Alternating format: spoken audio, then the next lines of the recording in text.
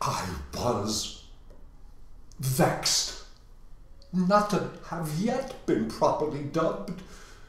And so I fancied it would not be lawful for me to pursue any adventures until receiving that order of knighthood. And so I bade the governor of the castle to attend me in the stables.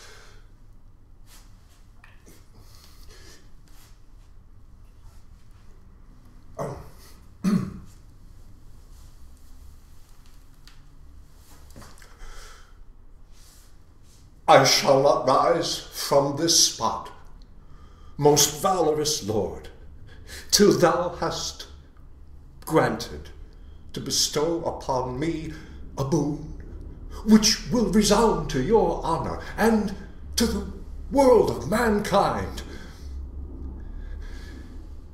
The honor which I beg of you is that you bestow upon me the order of knighthood. This night, I will watch my honor in the chapel of your castle, and then, in the morning, you shall be pleased to graciously bestow upon me the order of knighthood, that I may be qualified to seek adventures in every corner of the universe, to relieve the distressed, to.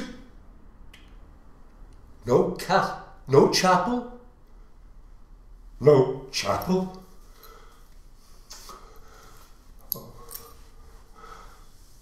Ah, ah, well, doubtless a temporary inconvenience to it being torn down to be newly built. Yes? Hmm. Well, then, by necessity, such ceremonies may take place in the courtyard of the palace. Money? Have I any money? Never read of knight errants being supplied of money.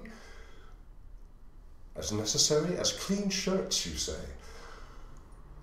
Well, sir, should I find my purse so supplied, I will grant thee all that is required. Ah, this being settled, then, I divested myself of armor and laid it in the horse trough. Then, with shield and lance, I began to walk with a graceful deportment.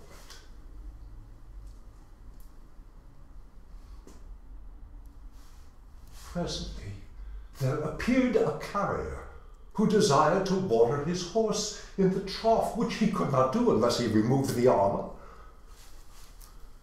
Hold, thou impertinent one! Lay not thy hands on the arms of the most valorous knight that ever wore a sword! But he grabbed hold of the straps and without so much ado threw them a great distance. Villain!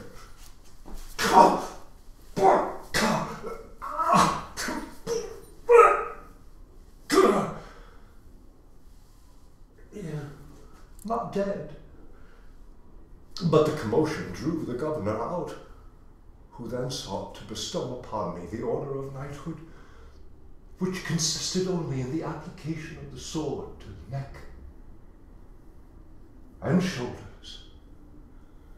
Whereupon I became Don Quixote, knight